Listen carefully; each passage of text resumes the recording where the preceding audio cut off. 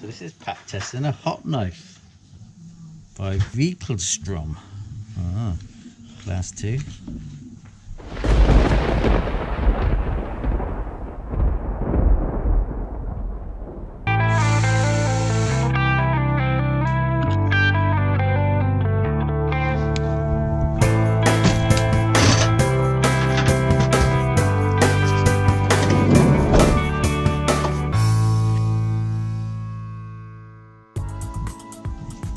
Hot knife, is that what it's called? Yeah.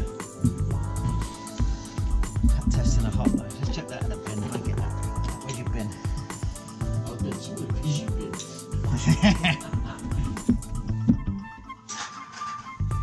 so this is Pat testing a hot knife by Viek Wiekelstrom. Ah, class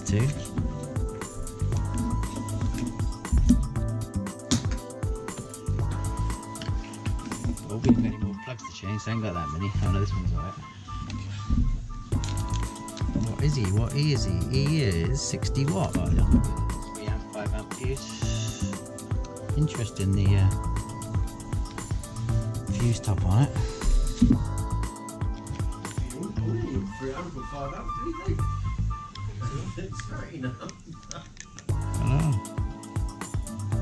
These will all have different fuses in them rated, so there's, I'm expecting to see a little tiny fuse in here.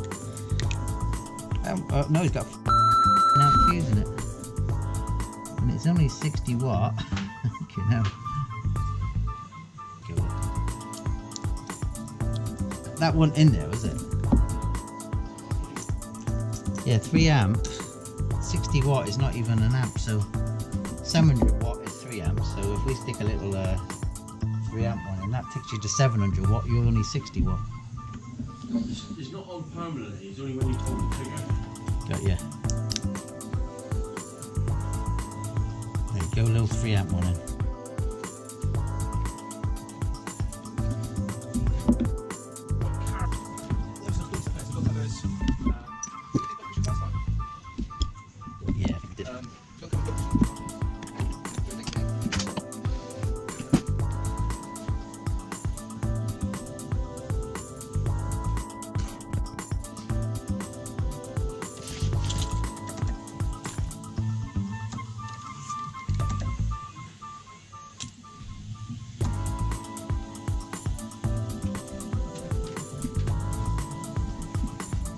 Time